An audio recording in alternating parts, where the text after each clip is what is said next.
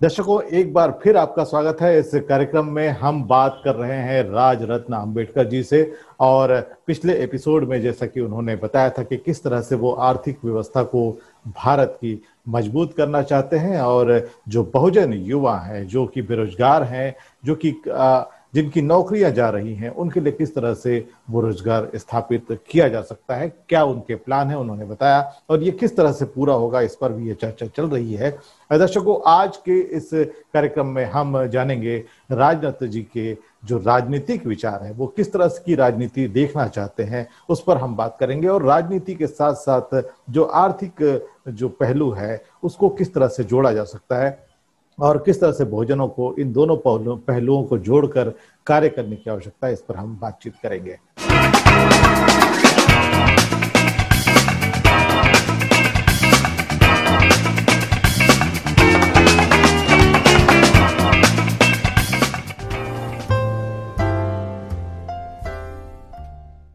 इस वक्त आप इस चैनल को सब्सक्राइब कर लें और अगर हमारा ये कार्यक्रम आपको पसंद आ रहा है तो इसे शेयर ज़रूर करें। और अब सीधे चलते हैं राजरत्न जी के पास में। जानते हैं वो क्या कहते हैं इस राजनीति के बारे में। मैं मैं खुद राजनीति में रहा हूँ और कई आ, बहुत नज़दीक से मैंने ये राजनीति देखी है। हम लोग जब कैंपेनिंग के लिए गाँव गाँव में जाते थे छोटे छोटे बस्ती में जाते थे जयवीर नगर हो तथागत नगर हो छोटे छोटे शेड्यूल कास्ट के लोग जहाँ पर रहते हैं, वहाँ पर जाते थे। तब हम लोगों को वहाँ पर पूछा जाता था, हम लोग जब आते थे, तब हमारे लोग ये ये कहते थे, मैं नांदेड़ से वहाँ से कंटेस्ट किया था, नांदेड़ आप जानते हो कि अशोक चौहान एक्स सीएम रह चुके थे महाराष्ट्र के। उनके अगेंस्ट में मैं खड़ा खड़ा था। उस समय वो सीएम थे और मैं उनके अगेंस्ट में कैंडिडेट था। सोचिए सीएम के अगेंस्ट कैंडिडेचर देना कितना कितना हम लोगों को संघर्ष करना हो, पड़ा होगा। हमारे लोग क्या कहते थे पता है? वो कहते थे कि, सर, हम आप, आपको ही वोट देंगे, लेकिन प्लीज़ आप हमारे एरिया में मत आया कीजिए। हमारे लोग अशोक चौहान जी के स्कूलों के ऊपर काम करते हैं, कॉलेज के ऊपर टीचर है। अगर आप हमारे गली में दिखाई दिए तो अशोक चौहान हमको उनके स्कूलों से निकाल देगा कॉलेज से निकाल देगा। तब मैंने सोचा कि हमें सिर्फ़ मैं सिर्फ़ बाबा साहब के परिवार का एक व्यक्ति हूँ ये बोलकर हम लोगों को नहीं लड़ना होगा। आगे आ, सामने वाले के हाथ में अगर चाकू है तो हमको चाकू से लड़ना होगा। उसके पास अगर तोप है तो हमको तोप से लड़ना होगा। अब हो क्या रहा है? सामने वाले के पास तोप है हम चाकू से, छोटे से चाकू से लड़ना चाहते हैं। और इसलिए मैंने तब कहा कि जो व्यवस्था अशोक चौहान ने बनाई है, वही व्यवस्था जब हम बनाएँगे, तब इनके सामने खड़ा करेंगे। अगर इनके एजुकेशन इंस्टीट्यूट है शुगर फैक्ट्रीज है टेक्सटाइल मिल्स है तो हम लोगों को भी वो सब बनाना होगा। और जब हमारे लोग यहाँ पर काम करेंगे, आज शरद पवार महाराष्ट्र की राजनीति पे होल्ड रखते हैं। वो कैसे होल्ड रखते हैं? सारे कोऑपरेटिव सेक्टर इनके हाथों में है। इनके पास सारे गन्ना फैक्ट्री इनके हाथों में है। शुगर फैक्ट्रीज इनके हाथों में है। वहाँ पर हमारा लेबर इनके गुलाम ही करता है। और इसलिए अगर इनको वोट नहीं दिया तो हमारी नौकरी आ जाती है। और इसलिए इन्होंने अपना वोट बैंक ऐसे बनाया। हम इसके ऊपर कभी सोचते ही नहीं। हम सिर्फ़ बाबा साहब का नाम लेना चाहते हैं। हम सिर्फ़ बाबा साहब ने क्या किया ये बताना चाहते हैं। बाबा साहब ने वोट का अधिकार कैसे दिया ये बताना चाहते हैं। और उनको वो झंझोड़ कर रखते हैं, इमोशनली झंझोड़ कर रखते हैं। लेकिन उनको हमेशा वोट बैंक में अगर कन्वर्ट करना है तो अपनी शुगर फैक्ट्रीज खड़ी करो, अपनी टेक्सटाइल मिल खड़े करो, अपने पेपर फैक्ट्रीज खड़ी करो ये ये तुम्हारा वोट बैंक हो सकता है। शरद पवार इसी तरह से वोट बैंक बढ़ाता है। तो ये काम हम कब करेंगे? आज अगर हम चाहे तो ये सब इंडस्ट्रीज़ खड़ी कर सकते हैं। लेबर हमारे पास है, हमारे पास हमारे इंजीनियर्स है, हमारे पास हमारा ह्यूमन रिसोर्स है, लेकिन हमारे पास जो नहीं है, वो है विजन हमारे पास विजन नहीं है। बाबा साहब के पास ये कुछ नहीं था, लेकिन बाबा साहब के पास विजन था। 1935 में, सोचिए आज हम मुंबई से 40 किलोमीटर दूर रहते हैं 70 किलोमीटर दूर रहते हैं, मुंबई से आज लोग फेंक दिए जा रहे हैं, निकाल दिए जा रहे हैं। बाबा साहब 1930 में, इसी मुंबई में, दादर में, ब्राह्मणों के छाती पर बैठकर बाबा साहब ने राजगुरु बनाया। जहाँ पर हम लोग 1930 में मुंबई में एक छोटा सा स्क्वायर फीट खरीद खरीद नहीं पाते थे वहाँ पर 1931 में बाबा साहब ने राजगृह की नींव रखी। आज भी वो राजगृह दादर में है, हिंदू कॉलोनी में है। सोचिए बाबा साहब की इकोनॉमिक्स क्या रही होगी? किस तरह से बाबा साहब ने अर्थव्यवस्था पे काम किया होगा, तब जाकर बाबा साहब इतना इतना बड़ा काम कर सके। 1946 में बाबा साहब ने मुंबई के फोर्ट के इलाके में जहाँ आज हम एक स्क्वायर फीट की ज़मीन खरीद नहीं सकते, बाबा साहब की चार मंजिला सिद्धार्थ कॉलेज वहाँ पर खड़ी है। उसके पीछे आनंद भवन, बुद्ध भवन जैसी बिल्डिंग्स वहाँ पर खड़ी है। तो सोचिए बाबा साहब के अर्थव्यवस्था के क्या विजन्स रहे होंगे। उसके ऊपर हम नहीं काम करना चाहते। हम क्या करते हैं? बाबा साहब को सिर्फ़ अपने मतलब तक इस्तेमाल करते हैं। जितना मेरा मतलब है, अगर मेरा मतलब पॉलिटिकल है तो सिर्फ़ बाबा साहब के पॉलिटिकल व्यूज़ को ही हम बताएँगे। कि बाबा साहब ने कहा कि जाओ अपने दीवारों पे जाकर लिख दो कि मुझे शासन करती जमात बनना है। बस इतना ही हम लोग बाबा साहब को इस्तेमाल करते हैं, बाकी सारे अपने विजन्स बाबा साहब के नाम के आगे लेकर भागते रहते हैं। तो बाबा साहब के विजन्स पर हमको काम करना होगा। आज हमारे पास सिर्फ़ बाबा साहब के फ़ोटोज़ हैं, सिर्फ़ बाबा साहब के पुतले हैं, बाबा साहब के असले विजन पर काम आरएसएस कर रही है। और आरएसएस बाबा साहब के विजन पर काम करके ब्राह्मणों की व्यवस्था मज़बूत कर रहे हैं और हमारी व्यवस्था खत्म कर रहे हैं। हम लोग, ये काम हमको करना चाहिए था, वो काम आरएसएस कर रही है और इसलिए बाबा साहब के इन विजन्स को पढ़ के, बाबा साहब के राइटिंग एंड स्पीचेस को पढ़ के ये व्यवस्था हम अपने समाज के लिए कैसे खड़े कर सकते हैं? इसके ऊपर हम लोग ये सोच समझ कर ये सारी प्लानिंग करके ये काम कर रहे हैं। हम लोग आने वाले समय में इंडस्ट्रीज़ में ये बहुत बड़ा काम करने जा रहे हैं। कोऑपरेटिव सेक्टर में भी हम लोग एंटर कर चुके हैं। ये कोऑपरेटिव सोसाइटी हम लोगों ने रजिस्टर कर ली है। अब हमारे युवाओं को और हमको किसी के पास आ, काम मांगने की भीख मांगने की ज़रूरत नहीं है। ये ऑलरेडी आपके लिए रिज़र्व है। बौद्धों के लिए मैं आपको बताना चाहता हूँ जितने भी प्रोडक्ट्स इंडिया गवर्नमेंट भारत सरकार अगर लेती है फोर परसेंट रिजर्वेशन बौद्धों के लिए है। भारत सरकार को चार परसेंटेज जो जितना भी उत्पादन है वो बौद्धों से लेना अनिवार्य है।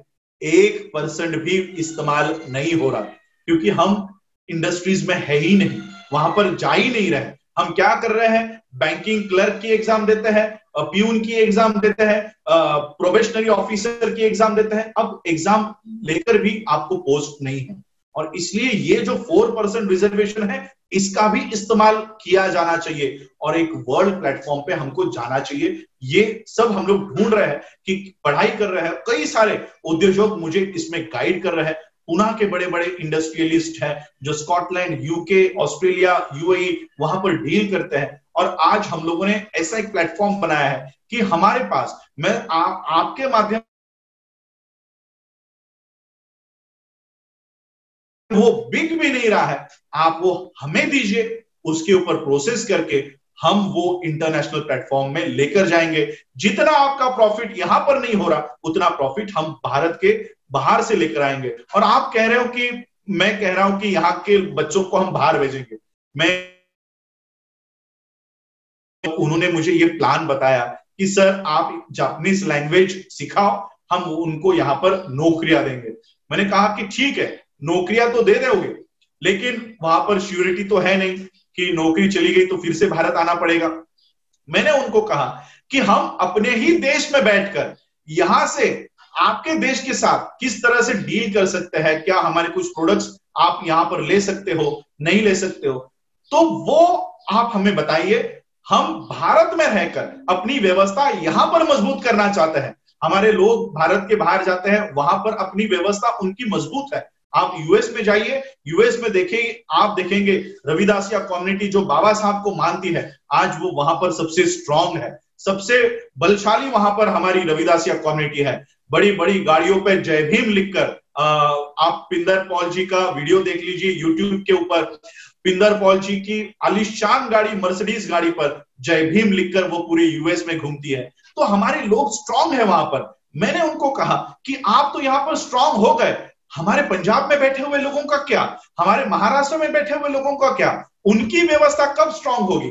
और फिर वो पूरी मदद करने को तैयार है। यहाँ पर ये इंडस्ट्रीज़ को एस्टैब्लिश करने के लिए एजुकेशन सेंटर्स को एस्टैब्लिश करने के लिए स्कूल्स कॉलेजेस यूनिवर्सिटीज हॉस्पिटल्स इस सारी व्यवस्था को बनाने के लिए वर्ल्ड के लोग इंडिया को मदद करने के लिए तैयार है। हमारे लोगों को मदद करने के लिए तैयार है। लेकिन हमारे लोग लगे हुए हैं राजनीति में। हमारे लोग बनना चाहते हैं सरपंच। हमारे लोग बनना चाहते हैं पार्षद, नगर सेवक ये बनना चाहते हैं। बाबा साहब, ठीक है, ये भी बनो, ये ये भी करना ही है। हमको सत्ता में भी घुसना ही है। लेकिन जब तक आपकी आर्थिक नाड़ियाँ मज़बूत नहीं होगी, इस सत्ता में बैठकर जाने वाले लोग भी क्या करेंगे? उनको लिया तो जाएगा, लेकिन हमेशा उनको पोजीशन दी जाएगी पावर नहीं दी जाएगी। आज पावर में सबसे ज़्यादा पावर में शेड्यूल कास्ट का समाज होना चाहिए। क्यों? क्योंकि इस देश का राष्ट्रपति शेड्यूल कास्ट से आता है। तो सोचिए जिस समाज का राष्ट्रपति राष्ट्रपति बना है वो समाज कितना स्ट्रांग होना चाहिए। लेकिन पोजीशन देने के बावजूद भी क्या आज शेड्यूल कास्ट पावर में है? वाकई सोचने की बात है वाकई सोचने की हम लोग हम लोग पोजीशन के लिए भाग रहे हैं। हम्म। हमको पोजीशन नहीं पावर चाहिए। और वो पावर आएगी आपके इस सारे काम से। आज जैन समाज पोजीशन में नहीं है। उनका कोई मिनिस्टर नहीं है। लेकिन यही देश का प्रधानमंत्री जैनों के मुनियों के पैर पड़ता है, नागा बाबाओं के पैर पड़ता है। क्यों? क्योंकि उनके पास पावर है। उनके पास पावर है। तो ये पावर बौद्धों के पास होनी चाहिए। ये पावर इस देश के हाथ में होनी चाहिए। और ये पावर कब आएगी? जब आप लोग संगठित होगे। और संगठित कब होगे? जब आपकी ये सारी व्यवस्था आपके हाथों में होगी। आपके बच्चों को किसी और के स्कूलों के ऊपर जाने की नौबत नहीं आएगी। आपके कर्मचारियों को किसी शरद पवार के या किसी अशोक चौहान के स्कूलों के ऊपर, शुगर फैक्ट्री के ऊपर काम करने की ज़रूरत नहीं होगी। आपके लेबर को किसी और के खेतों के ऊपर काम करने की ज़रूरत नहीं होगी। जब ये व्यवस्था आप बनाओगे, इसको समझ जाएगा। बाबा साहब का एक स्पीच है बाबा साहब कहते हैं कि एक क्रांति आने के लिए आपको तीन पीढ़ियाँ देनी होगी तीन पीढ़ियाँ। तीन साल में बाबा साहब ने रिज़ल्ट लाने की बात नहीं की है तीन पीढ़ियों में। लेकिन बाबा साहब ने अपने ही जीवन में एक परिवर्तन लाया। मनुस्मृति को बाबा साहब ने उन्नीस वाकई वाकई वाकई। देखिए में चलाया लेकिन उन्हीं बाबा साहब ने संविधान भी दिया। तो एक परिवर्तन बाबा साहब कर चुके हैं। अब ये परिवर्तन हमको करना है। हमको एक ही। पीढ़ी में ये रिज़ल्ट नहीं मिलेगा। लेकिन दो तीन पीढ़ी अगर हम इस एंगल में चले बाबा साहब के विचारों पे चले सौ साल लगा दिए आरएसएस ने सत्ता में आने के लिए। हासिल करने हम हमको दस साल में रिज़ल्ट चाहिए। इलेक्शन जब आती है तो डेढ़ महीने पहले हमारे प्रचार शुरू हो जाते हैं। सोचिए कैसे काम करोगे आप लोग? अब यूपी की इलेक्शन आएगी तब एक दो महीने पहले फिर कार्यक्रम शुरू हो जाएँगे। अब बिहार की इलेक्शंस आ रही हैं तब कुकुर मुद्दों की तरह हमारी पार्टियाँ अब खड़ी हो रही है। वो प्रचार कर रहे हैं। ये एक दो महीने पहले करने के बजाय पाँच सालों तक लगातार काम होना चाहिए। और पाँच सालों तक आप भाषण नहीं करना है। पाँच सालों तक ये काम करना है। आपके लोगों को उनके हाथों को काम दीजिए। और ये काम है।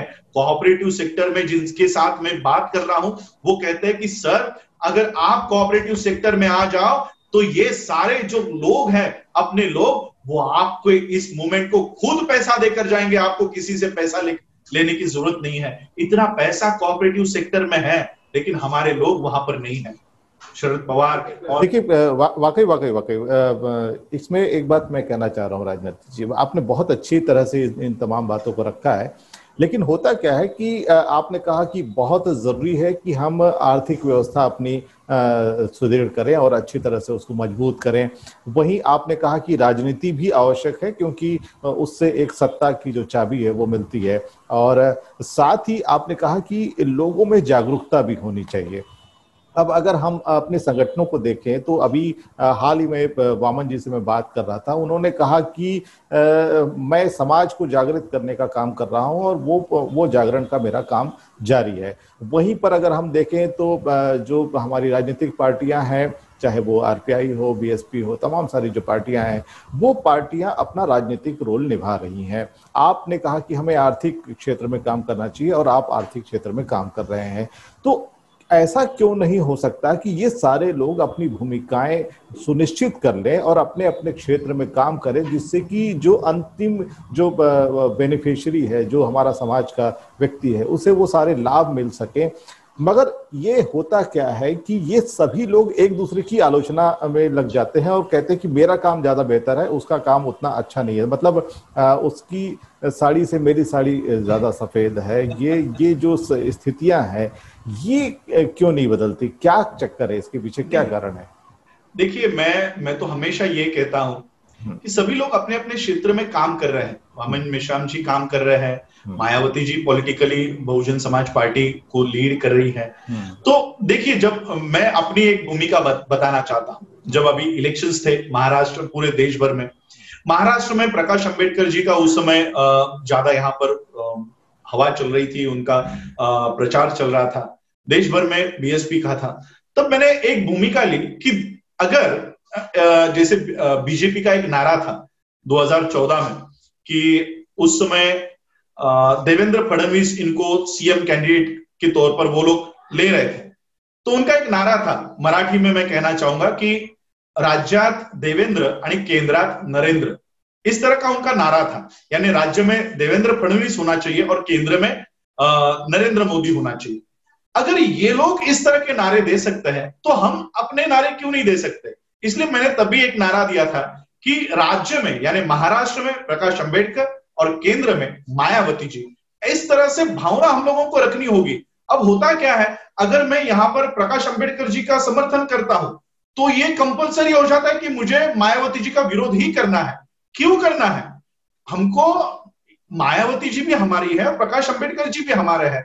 अगर यहाँ पर यहाँ पर पावर प्रकाश अंबेडकर जी की बढ़ रही है तो हम सभी लोगों को वहाँ पर खड़ा हो जाना चाहिए। हमारे वोट्स अल्पसंख्यक है। हम लोग माइनॉरिटी में है। लेकिन एक ताकत हमारी है। एक ताकत यह है कि हम इकट्ठा जिसके साथ खड़े हो जाते हैं, उसकी सत्ता आ जाती है। ये हम लोगों ने देखा हुआ है।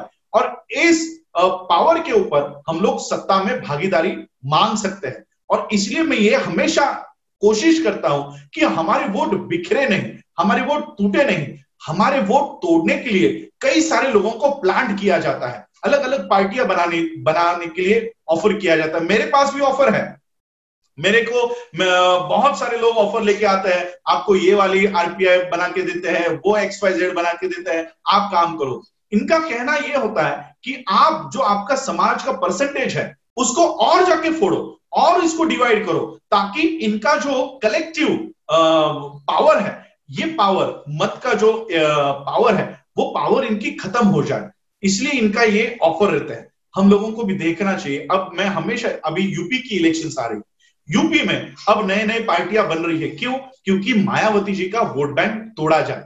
मैं आप लोगों को कहना चाहूँगा, मायावती जी का क्या सही है, क्या गलत है, क्या पॉलिसीज़ गलत हो रही है यह इंटरनल वो देख लेंगी। लेकिन जब देश का मुद्दा आ रहा है वोट का मुद्दा आ रहा है सत्ता स्थापन करने का मुद्दा आ रहा है, तब हमारा एक भी वोट बिखरना नहीं चाहिए। मायावती जी गलत है या नहीं है? वो हम आप बाद में देख लेंगे। लेकिन इसके जब इलेक्शन का वोट आ रहा है इलेक्शन का टाइम आ रहा है वोट देने की बारी आ रही है, तब एक भी वोट बीएसपी के अलावा और किसी पार्टी का बटन नहीं दबना चाहिए, ये हम लोगों को सुनिश्चित करना होगा। क्योंकि एक भी बटन अगर किसी और एक्स वाई जेड पार्टी का दब गया, Bahujan X Bahujan Y Bahujan Z ऐसा कुछ भी दब गया तो क्या होगा? बीएसपी का जो वो, वोट बैंक है, उनको वो तोड़ना है, उसमें वो सफल हो जाएँगे। और इसलिए नई नई पार्टियाँ, हमारे लिमिटेड वोट बैंक को तोड़ने के लिए जो बनाई जाती है, इसको हमको देखना होगा।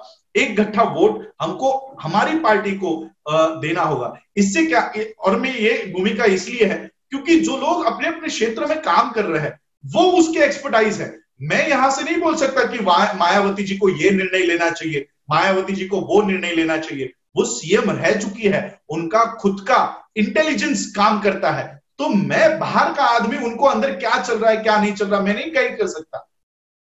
इसलिए जो लोग अपने अपने क्षेत्र में काम कर रहे हैं, उनको सबको, हम सबको मिलकर उनको सपोर्ट करना चाहिए। वामन मेश्राम जी, अगर जागरूकता का काम कर रहे हैं तो हम लोगों को उनको सपोर्ट करना चाहिए कि हाँ आप आ, हमारा इतिहास लोगों को बता रहे हो लोगों को जागरूक कर रहे हो। लेकिन जागरूक करने के बाद क्या? उसके बाद एक फुल स्टॉप लग जाता है। हम लोगों ने मान लिया ब्राह्मण नालायक है। हम लोगों ने मान लिया ब्राह्मण घुसपैठिया है। आगे क्या? उसके आगे सॉल्यूशन क्या? प्रॉब्लम आप बता रहे हो। हम वो सॉल्यूशन देने का काम कर रहे हैं। वो आंसर देने का काम कर रहे हैं। आपको पता चल चुका है कि आप लोग इस देश के शासक थे आपको गुलाम बना दिया गया था। अब फिर से गुलामी से बाहर आकर शासक कैसे बन सकते हो? बुद्धा का जो धम्म है, ये धम्म है, धर्म नहीं है। बुद्धा का पूरा टीचिंग ये पॉलिसीज़ के ऊपर है। अपनी प्रगति करना बुद्ध सिखाते हैं। और बुद्ध के समय सम्राट अशोक का जो कार्यकाल रहा, हमारे राजाओं का कार्यकाल रहा, भारत सोने की चिड़िया कहलाया करता था। क्यों? क्योंकि उन पॉलिसीज़ के ऊपर हम लोग काम कर रहे थे। पूरा वर्ल्ड इस देश से संपर्क कर रहा था। और देखिए, जैसे आज नरेंद्र मोदी जी स्टैंड ले रहे हैं, वही स्टैंड अढ़ाई हज़ार सालों पहले इन ब्राह्मणों ने लिया था। उन्होंने भारत का संपर्क सभी देशों से तोड़ दिया और इसी देश के लोगों को इसी देश में कैद करके उनकी आर्थिक जो नाड़िया थी, वो बंद कर दी। और यही काम नरेंद्र मोदी जी करना चाहते हैं कि आप भारत के बाहर मत जाओ पढ़ाई करने के लिए मत जाओ। तो राजरत्न जी, हमारे बीच मौजूद रहेंगे दर्शकों। अगले एपिसोड में तक आप हमारा इंतज़ार करें और अगले एपिसोड में हम उनके विचारों को और बेहतर तरीके से जानेंगे और भी उनके क्या क्या विचार हैं। बहुत सारे विषय अभी बाकी हमारी बातचीत के इस कार्यक्रम में। और हम आपसे अनुरोध करते हैं कि हमारे इस चैनल को सब्सक्राइब करें और साथ ही हमारा ये कार्यक्रम अगर आपको अच्छा लग रहा है तो इसे दूर दूर तक पहुँचाने में हमारा सहयोग करें। और अब ये इस कार्यक्रम में आज की बातचीत बस यहीं तक। अगले एपिसोड में फिर मुलाकात होगी।